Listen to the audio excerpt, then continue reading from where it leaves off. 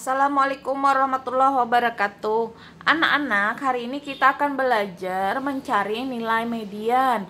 Nah di sini ada disajikan data nilai bahasa Indonesia.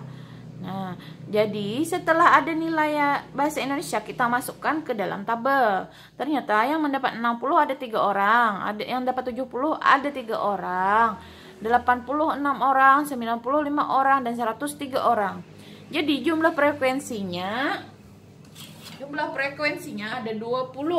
20 orang. Nah, untuk mencari nilai median yang kita harus lakukan langkah pertama adalah mencari cari letak median. Cari letak median. Jadi ibu di sini letak median ibu singkat jadi LM. Nah, untuk mencari letak median ada rumusnya yaitu frekuensi jumlah frekuensi ditambah satu dibagi dua. Kita cari dulu anak-anak letak mediannya.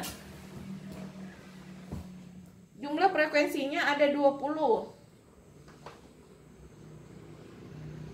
Ditambah 1 dibagi 2 sama dengan 21 bagi 2 sama dengan 10,5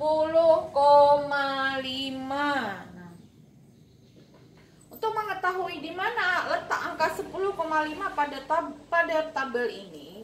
Caranya adalah kita menjumlahkan frekuensi ke frekuensi. Yang pertama ini tiga frekuensinya, ada tiga orang. Nah, Kemudian dari 60 ke 70 kita tambahkan ini 3 tambah 3 berarti 6 Sudah ada 6 orang datanya. Kemudian lagi kita tambahkan lagi 70 ke 80 berarti 60 6 orang ditambah 6 orang. Nah, jadi 60 70 ke 80 jadi 6 tambah 6 12. Nah, Ibu ulang anak untuk mencari letak frekuensi tadi. Letak median tadi. Nah, jadi kita pertama 3 nih, ada 3 orang. Tambahkan lagi tiga orang dengan data berikutnya yang ini. 3, 6. Tambahkan lagi 6, tambah lagi dengan frekuensinya berarti 12. 12 tambah 5, 17. 17 tambah 3, 20. Selesai. Nah, jadi untuk mengetahui letak mediannya di mana, median letak mediannya tadi kan 10,5. Kalau di angka si tiga orang saja belum mencapai 10,5 orang. Nah, 10,5 letak mediannya. Kalau enam orang belum mencapai angka 10,5. Kalau 12 sudah mencapai, sudah melewati angka 10,5. Ibu kalau 3 belum melewati 10,5. Kalau 6 belum melewati 10,5. Kalau 12 sudah melewati 10,5. Kalau 17 melewati tapi sudah terlalu jauh karena sudah ada satu kali letak yang melewati 10,5. Jadi kita ambil yang paling dekat dengan 10,5. Tidak boleh kurang, tidak boleh belum melewati.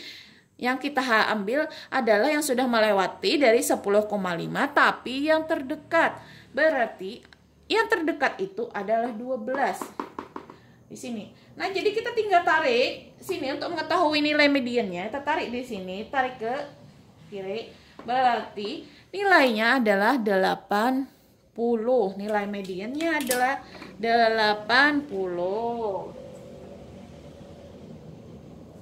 Nah, begitu anak-anak. Nah, untuk menguji pemahaman kalian, Ibu akan memberikan soal. Nah, anak-anak, coba kalian jawab soal berikut. Carilah nilai mediannya. Itu ada data nilai bahasa Indonesia secara acak. Jadi kalian pertama langkah pertamanya adalah masukkan dulu ke dalam tabel. Nah, setelah itu cari letak median baru kita menentukan nilai mediannya.